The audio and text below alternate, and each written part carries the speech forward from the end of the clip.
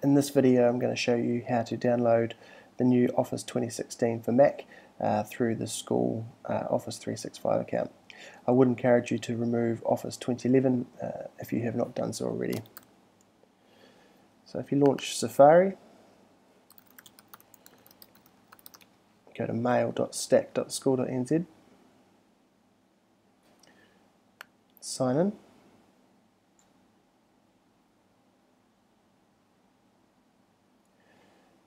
and in the top right hand corner uh, you can choose Office 365 settings.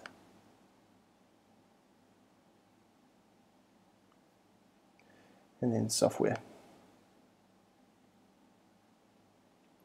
You'll see it's now updated to the 2016 Mac version which includes uh, OneNote.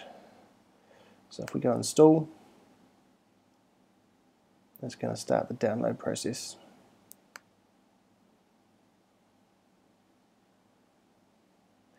It is 1.16 uh, gigabytes in size, so I would suggest you might want to do this on a fibre connection such as at school.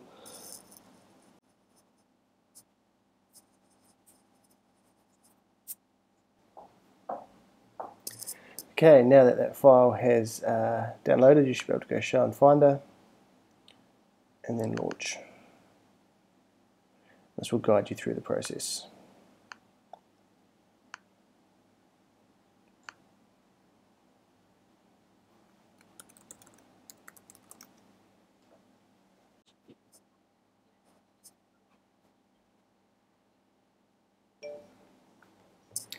And you're done.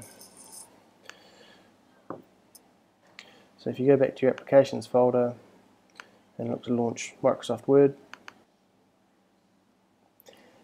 gives you a bit of an update of what's new.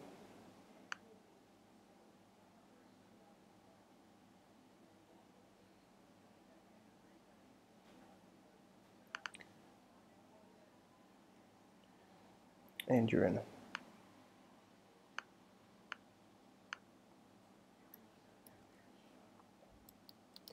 If you haven't already uh, got Microsoft OneNote, should launch your uh, previous ones that you already had there. And that's Office 2016.